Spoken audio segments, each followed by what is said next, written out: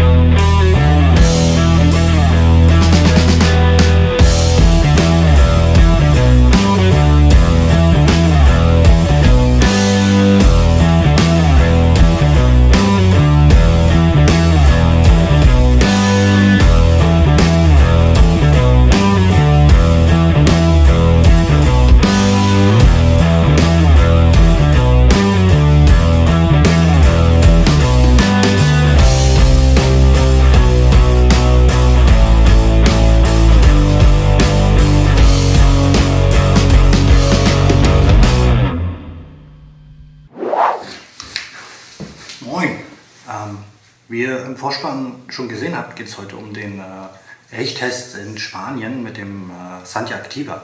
Ähm, ich wollte mal was Neues ausprobieren, äh, vielleicht mit euch über dieses Thema quatschen, über dieses Video, weil das ja wirklich äh, viral ging und äh, es haben sich viele Leute angeguckt.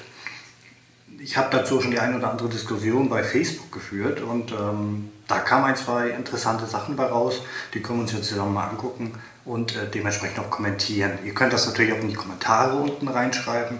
Ähm, erstens, was haltet ihr von dem Format? Also kann man das normal machen und würdet ihr eventuell auch Spaß daran haben, dass man das mit euren Videos macht? Also habt ihr eventuell einen eigenen Kanal oder habt einen Zandja mal abgefilmt? Ähm, dann würde ich mich darüber freuen, wenn ihr einen Link da lasst und dann können wir das gemeinsam in so ein Format äh, kommentieren. So, und los geht's. Ähm, ich werde mir einen Knopf ins Ohr stecken, die rechte Seite. Und ähm, immer wenn was Wichtiges kommt, drücke ich auf Pause. Ich werde mich dabei hier oben in die Ecke schieben und äh, werde halt meinen Senf dazu geben. Und ähm, ich würde sagen, los geht's. Und Start. Erstmal kommt jetzt hier der Vorspann. Übrigens, äh, dieses Format von Kilometer 77 finde ich eigentlich, also finde ich sogar sehr gut. Und ich fand es natürlich mordsmäßig gut, dass sie den Santja mit reingenommen haben. Äh, warum das passiert ist, das begründen sie auch in ihrem Video. Gucken wir weiter. Genau, das, äh, das Format heißt äh, 77 Retros. Ja, haben sich da ein Logo einfallen lassen. Sieht jetzt nicht so doll aus, aber ist egal.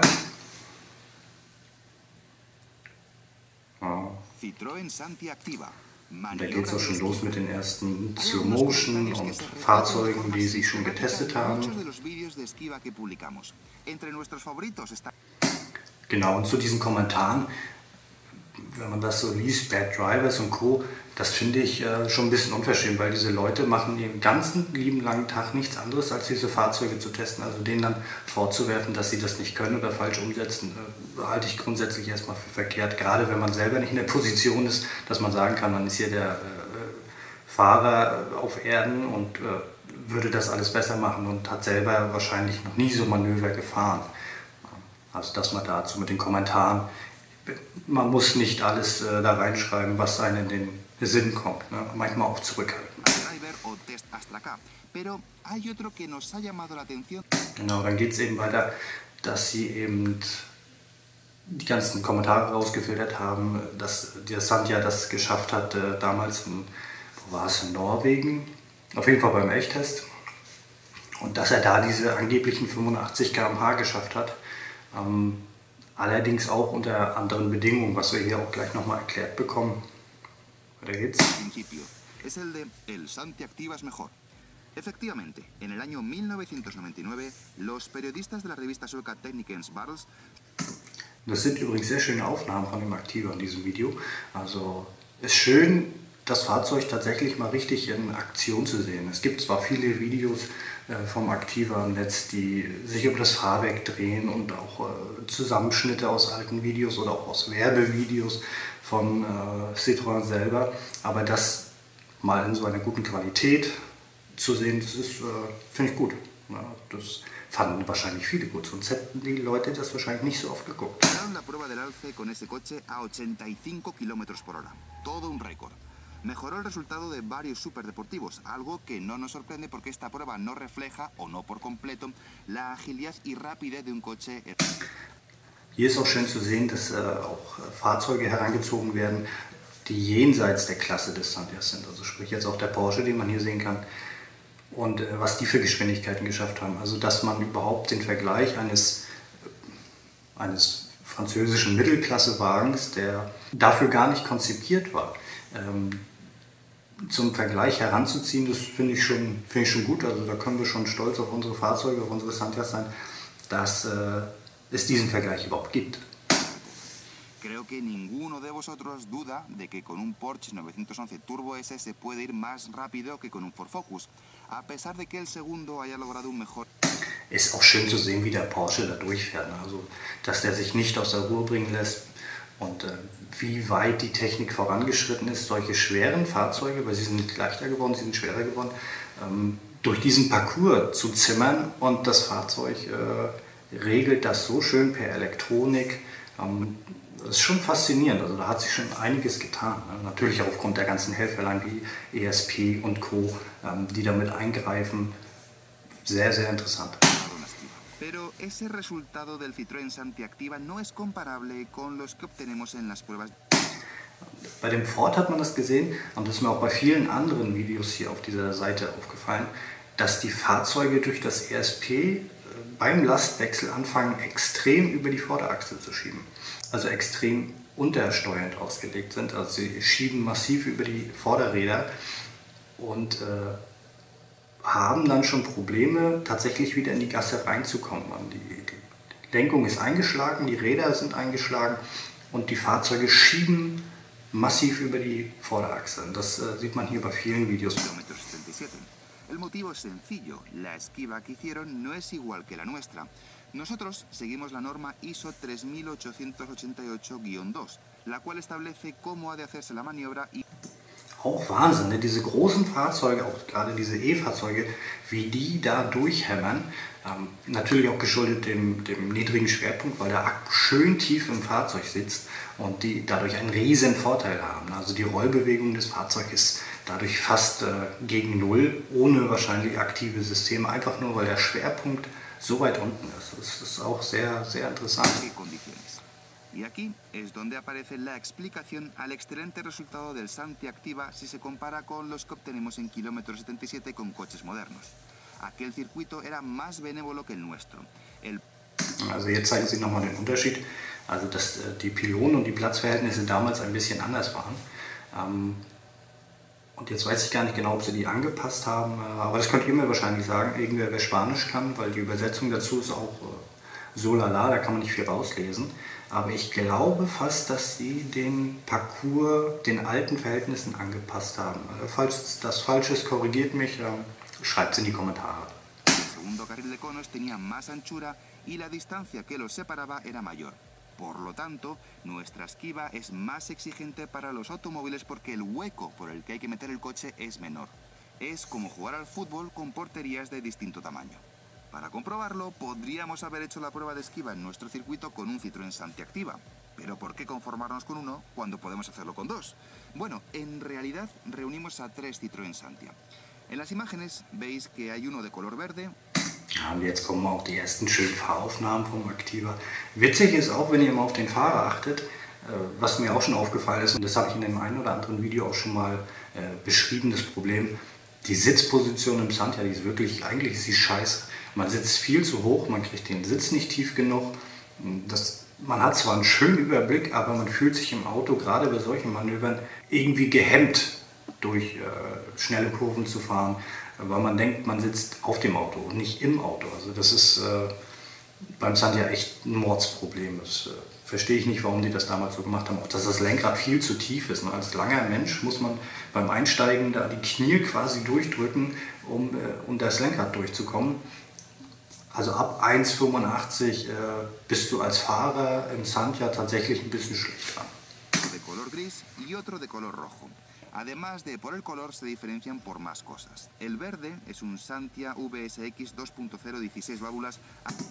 Das finde ich auch schön, dass Sie mehrere Fahrzeuge äh, in diesen Test mit einbeziehen. Also wir haben zum einen den, den X2, also das Facelift als HDI, ganz äh, rechts in der Mitte den, ich denke, dass es ein Turbo ist, ein TCT und so einen hatte ich tatsächlich auch mal, also auch in der Farbe. Allerdings war der im schlechten Zustand, den gibt es nicht mehr. Und äh, ganz links das Urmodell noch mit dem Doppelwinkel auf der Haube. Also es muss ein 93er oder 94er sein. Und ähm, schön, dass sie die alle drei mit einbeziehen. Leider den, äh, das Urmodell nicht durch den Parcours scheuchen, also nicht ausführlich. Ne? Es wird nur so kurz angeschnitten, das sehen wir auch gleich nochmal. Da hätte mich schon interessiert, was die normale Hydropneumatik, beziehungsweise in dem Fall ist es vielleicht ein hydroaktiver, ähm, in diesem Parcours äh, gemacht hätten oder was, was sie leisten hätte können. Aber darauf haben sie sich nicht konzentriert, sondern nur auf die äh, aktiven Modelle. Das ist eigentlich schade. Weiter geht's. La V de 155 caballos del año 1993. El gris es un Santi Activa HDI de 110 caballos del año 1999. Y el rojo es un Santi Activa Turbo CT de... Was mir dazu noch einfällt, also was äh, auch noch eine gute Frage wäre für euch, welcher gefällt euch eigentlich besser? Also steht ihr auf den X2 oder auf den X1? Äh, beim X1 haben wir natürlich die schönen Unterschiede, dass wir da noch äh, andere Stoßstangen hatten. Wir hatten einen breiten Body und einen schmalen Body. Das gab es ja beim X2 so nicht mehr. Da haben äh, die Bodies alle gleich ausgesehen. Wir hatten immer die breiten Kurflügel, hatten immer die gleiche Front, immer die gleiche Stoßstange. Das Einzige, was sich da noch unterschieden hat, war die Spurweite vorne durch einen äh, anderen Achsstumpf. Die sind ungefähr 1,5 cm breiter beim, beim V6, beim Turbo und äh, beim HDI, glaube ich. Also haben auch dementsprechend die größere Bremsanlage. Also schreibt mal in die Kommentare X1 oder X2, welches äh, Fahrzeug gefällt euch besser? De 155 caballos del año 1993. El gris es un Santi Activa HDI de 110 caballos del año 1999. Y el rojo es un Santi Activa Turbo CT. Ich könnte mir auch gut vorstellen, dass der rote, gerade weil wir, die Fahrzeuge kommen ja aus Spanien, dass der schon mal neu gelackt wurde. Weil ich habe, oder er stand nur im Dunkeln oder nur in der Garage, weil die meisten Santias mit dem Lack, die haben tatsächlich totalen Sonnenbrand. Sprich, der äh, Klarlack kommt hoch und die sehen meist aus wie, wie Kraut und Rüben. Also ja, selten, dass diese Farbe gut erhalten ist, ne? egal ob es auf dem X1 oder auf dem X2 ist. 40 caballos matriculado en 1997. El Santia de color verde tiene la suspensión neumática Hidractiva 2, que es una suspensión controlada electrónicamente.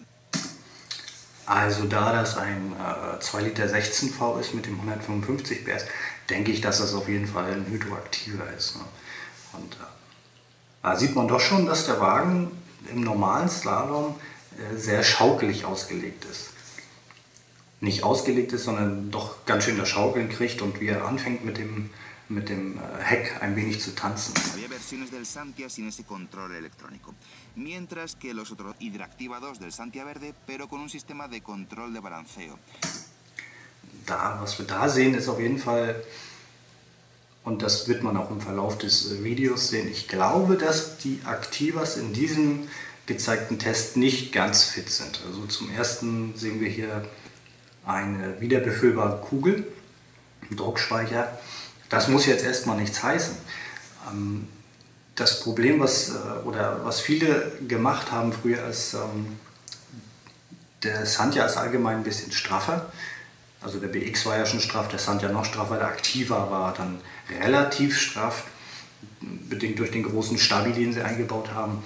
Ich könnte mir gut vorstellen, wenn da schon befüllte Kugeln drin sind, erstens stimmt der Druck, zweitens ist das eine originale Kugel noch, eine, die, die also auch von der Abstimmung her, von der Dämpferabstimmung her genauso ist, wie sie sein soll. Und wurde da nicht vielleicht ähm, der Bypass aufgebohrt, um das Auto ein bisschen komfortabler zu bekommen. Weil das ist ja eigentlich der berühmteste Trick aller Zeiten, äh, die Kugel in der Mitte ein bisschen aufzubohren und das Fahrzeug dadurch weicher zu gestalten. Also da bin ich eher skeptisch, dass diese Kugeln, also ich will da niemandem was vorwerfen, aber wirklich dem technischen Stand von 1995 meinetwegen entsprechen. oder ob es nicht doch schon andere sind oder Nachrüstkugeln und dann nochmal befüllt. Also das, das geht hier raus auch nicht hervor.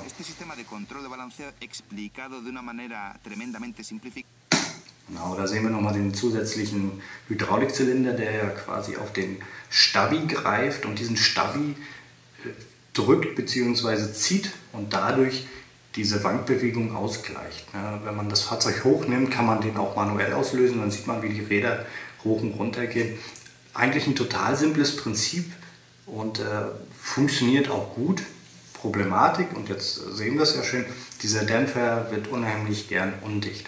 Und äh, da sind wir wieder bei der Teileversorgung. Immer schwierig dafür Teile zu bekommen. Also es gibt wohl ein, zwei Reparaturmöglichkeiten, aber äh, habe ich mich noch nie selber richtig mit befasst. Wie gesagt, ich hatte selber einen Aktiver, der hatte das Problem, und zwar beim Zylinder hinten und vorne. Die waren sehr undicht und ähm, habe dann irgendwann aufgegeben, die Dinger dicht zu kriegen. Das war einfach nicht möglich. Und äh, man kann sie wohl auch nicht zerlegen. Aber eventuell wisst ihr das besser, dann könnt ihr das auch in die Kommentare schreiben. Hier geht es ja prinzipiell erstmal nur darum, das System überhaupt äh, zu zeigen. De una manera tremendamente simplificada, es un sistema de estabilizadoras que se pueden desacoplar o acoplar permitiendo und da haben wir schon eigentlich das nächste Ding. Also wenn ich jetzt die große Manschette vom äh, Hauptzylinder sehe, ne, das ist ja kein Stoßdämpfer, das ist eigentlich nur ein Zylinder im, im McPherson-Prinzip und die Manschette ist gerissen. Wie gesagt, da bin ich schon immer skeptisch, dass die Fahrzeuge technisch tatsächlich auf dem Stand sind, wie sie sein sollten, damit sie diese Leistung überhaupt erbringen. Soll jetzt kein Vorwurf sein.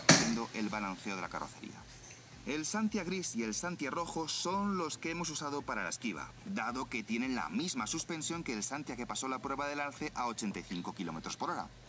En esta ocasión hemos cambiado el procedimiento. Jetzt haben wir gerade gesehen, dass der untere Fahrer, der HDI, ähm, die erste Pylone schon geschmissen hat. Ich weiß ja nicht, ob ihr das schon mal gemacht habt, ob ihr schon mal durch eine Pylongasse durchgefahren seid. Und ihr habt das vorher noch nie gemacht. Es ist unheimlich schwer, beim ersten Mal die Übersicht zu behalten zwischen den Pylonen und sein Auto selber tatsächlich so einzuschätzen, dass man diese Pylonen eben nicht wegschießt. Also das ist nicht mal eben so. Ähm, da braucht man schon äh, ein bisschen Übung. Ne? Es sieht zwar lachhaft aus, aber ist nicht ganz ohne. Vor allem, wenn dann richtig Geschwindigkeit mit dazu kommt. habitual que seguimos con las pruebas de coches nuevos y no vamos a empezar con una pasada ciega a 77 km por hora. Lo vamos a hacer a una velocidad muy baja, en torno a 60 km por hora, que iremos incrementando según veamos las reacciones. Auch schön, wie der Storch da hinten landet, ne? Habt ihr den gesehen? Nur so am Rande. Hm. So, und jetzt geht's mit dem äh, Test los. El motivo es bien sencillo. Son coches de más de 20 años que sus dueños, miembros del Club Citroën Santia, nos han cedido de manera completamente desinteresada. Ah, was man halt so schön sehen kann, ist, bei den Geschwindigkeiten ist das Auto eigentlich äh, so seelenruhig und fährt darum. Es sieht schon fast aus, als wenn, wenn das Fahrzeug nur 30 km/h oder ähnlich äh, wenige Geschwindigkeiten fährt, weil die Perspektive das natürlich auch so ein bisschen täuschen lässt. Aber das macht er ja ganz äh, gelassen und ruhig. Das Fahrzeug bewegt sich kaum. Also das wäre jetzt quasi ein normales Ausweichmanöver auf der Landstraße mit äh, Tempo 50 oder quasi innerorts mit Tempo 50. Da bleibt er ganz gelassen, das interessiert ihn gar nicht.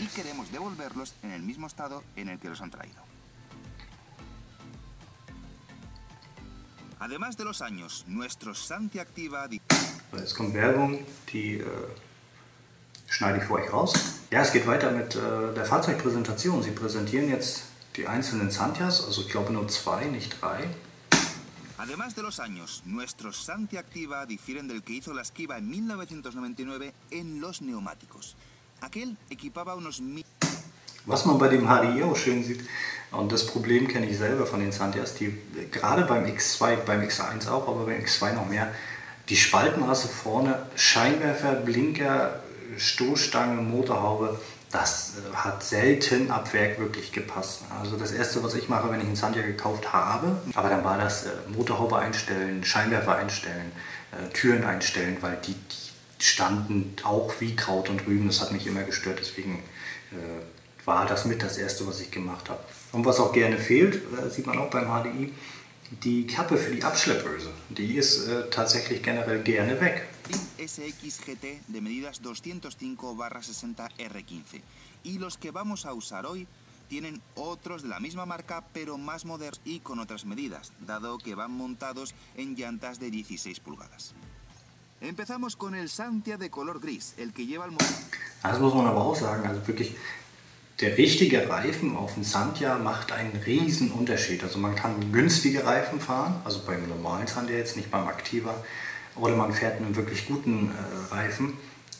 Das macht wirklich einen riesen Unterschied aus. Also gerade dieses, der Santia ist ja da, der neigt dazu, über die Vorderachse zu schieben. Und das kann man tatsächlich durch einen guten Reifen äh, gut unterbinden und schafft dadurch deutlich höhere Kurvengeschwindigkeiten. Also der Grenzbereich zwischen einem guten und einem schlechten Reifen, der ist wirklich weit auseinander. Also versucht man einen guten Reifen aufzuziehen, wenn das Geld dafür da ist.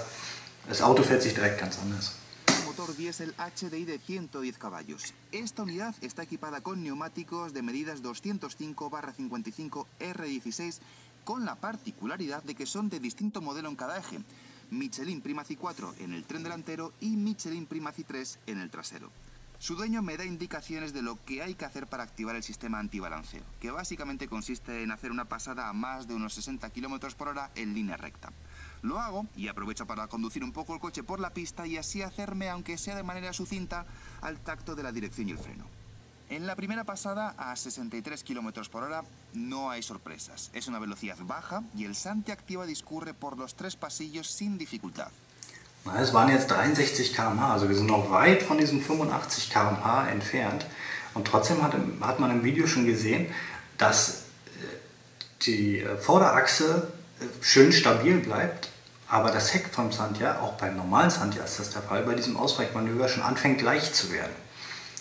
Also das ist beim Santia nicht zu unterschätzen, gerade weil er so einen langen Radstand hat, will er gerne bei schnell gefahrenen Links-Rechts-Manövern mit dem Heck direkt also nicht ausbrechen, aber es wird leicht, also man merkt das deutlich.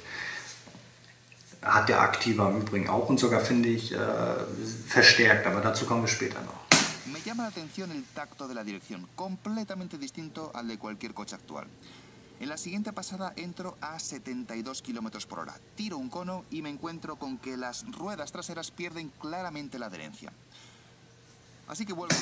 Genau das ist das Problem, wenn dann nämlich der Arsch kommt oder ähm, wenn das Heck kommt, dann äh, wäre es in dem Fall, in diesem Test meiner Meinung nach, oder ist es ein Fehler, dann sofort gegenzulenken, weil der Sand ja relativ schnell wieder spurt und man das Heck eingefangen bekommt. Um, man hätte ihn laufen lassen können, dann hätte er wahrscheinlich auch äh, in die Gasse zurückkommen können. Also da hat er quasi selber aus eigenem Reflex heraus abgebrochen, weil er gedacht hat, jetzt äh, ist hier Achterbahn. Punto de inicio y hago otro intento, en este caso a 70 km por hora. No tiro ningún cono, pero el coche se descontrola por el... Ah, bei 70 km/h hat er es dann versucht, er hat das Auto laufen lassen, aber die 70 km/h waren eben schon zu schnell und bedingt, also man kann den Wagen dann noch abfangen, aber bedingt dadurch, dass wir, das Thema hatten wir auch schon, die Lenkung eine ziemlich grobe Übersetzung hat, braucht man zu lange, um zum nächsten Lenkanschlag zurückzulenken. Und in der Zeit, weil es ja nur eine kurze Zeit ist, in der sich das abspielt, überdreht das Auto. Und was man auch schön sehen kann jetzt in dieser Pausenfunktion ist, dass der Tankdeckel äh, schon ein bisschen aufgeht. Das haben äh, meine Santias auch alle gehabt, wenn man sie mal richtig rangenommen hat und man hat in den Rückspiegel geguckt, dann konnte man sehen, in Linkskurven, scharfen Linkskurven, dass der Tankdeckel dabei ein bisschen aufgeht. Also das ist äh, auch ganz witzig. Eigenart beim Santia. Podría pasarme la mañana haciendo pruebas, pero aunque consiga una pasada algo más rápida, está claro que es imposible acercarse a los 85 km por hora.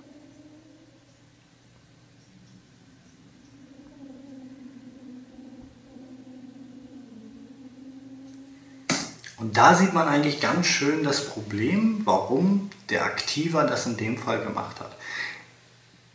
Der wäre ohne den Eingriff vom Fahrwerk wäre der zurück in die Gasse gefahren und alles wäre gut gewesen. Aber in dem Augenblick, wo das Fahrwerk anfängt zu reagieren, und man sieht das hier ganz äh, hervorragend, wie die Hinterachse äh, anfängt zu korrigieren, bedingt durch die Vorderachse, das Signal wird ja dementsprechend durchgeschaltet, oder nicht, aber es wird registriert auf der Vorderachse und äh, es wird nach hinten weitergeleitet. Er fängt in dem Augenblick an, ähm, ein Rad zu entlasten, das fehlt ihm dann an Grip, dann gibt es nochmal einen Lastwechsel der Massen, also das Auto, äh, die Masse des Fahrzeugs verschiebt sich in dem Augenblick und dann ist quasi alles außer Kontrolle. Ne? Also dann wirkt sich dieses System sogar negativ aus. Wir sehen ja auch, dass das Hinterrad jetzt den Bodenkontakt verliert, nochmal weniger Grip, alles baut sich auf eine Seite auf und dann kommt das Fahrzeug bedingt noch durch den Lastwechsel und die Geschwindigkeit und da er eh schon eingedreht hat, äh, geht es dann eben los, dass er anfängt zu überdrehen. Und dann ist das System quasi, äh, in meinen Augen ist das System in dem Augenblick überfordert oder nicht schlau genug, das äh, auszugleichen.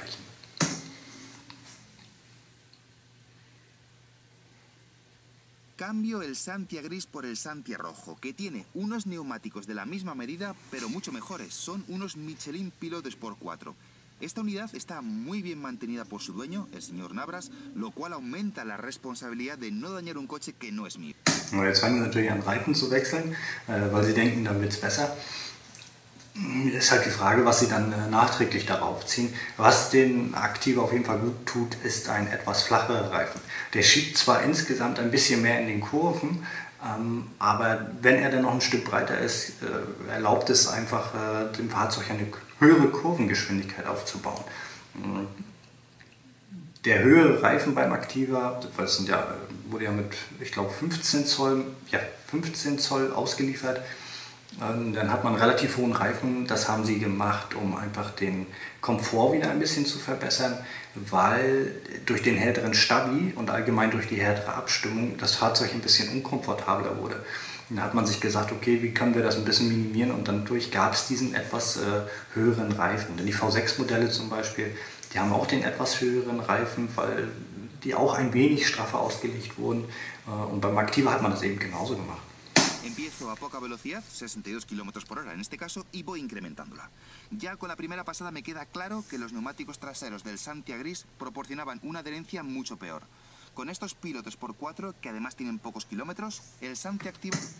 Es schon Wahnsinn. Also ich glaube auch, dass der rote Activa ähm, deutlich besser funktioniert. Also dass der technisch in einem besseren Zustand ist als der HDI.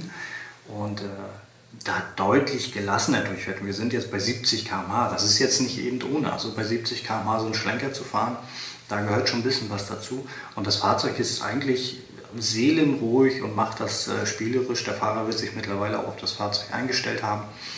Und ähm, das, das macht der klasse, da gibt es gar nichts.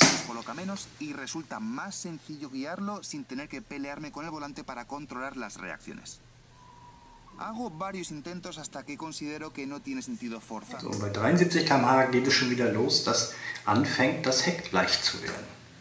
Ja. Und äh, beim HDI war es ein bisschen früher, wahrscheinlich bedingt durch einen schlechteren Reifen oder äh, das Fahrmanöver ein bisschen anders angefahren, vielleicht kurz auf der Bremse gestanden oder eben durch das Reagieren des, des Fahrwerks. Ähm, das schafft der Rote hier deutlich besser. Más la situación y doy por finalizada la prueba. ¿Cuál es la velocidad máxima a la que hemos superado la esquiva? Os lo contamos más adelante. P. A. propietario del Santia de color gris, nos pide hacer él mismo la prueba con su coche. Al fin y al cabo es quien mejor lo conoce, lo ha conducido muchos kilómetros. So, und das ist auch, glaube ich, so ein kleines Problem von aktiver Fahrern, dass die wenn andere das machen, in dem Fall ja der Profi das gemacht hat, ähm, sich der aktiver Fahrer wahrscheinlich denkt, das kann ich viel besser. Ne? Er kann das wahrscheinlich ein Stück weit besser, weil er sein Auto besser kennt. Ja, und jetzt äh, versucht es der Besitzer einmal. Incluso ha hecho este tipo de maniobras alguna vez. Así que tras poner los Michelin Pilot Sport 4 en su coche, los que llevaba el Santia de color rojo, sale a pista. ¿Será capaz de mejorar el resultado? Realiza varias pasadas y tras cada una de ellas le preguntamos la velocidad de entrada. Hay que...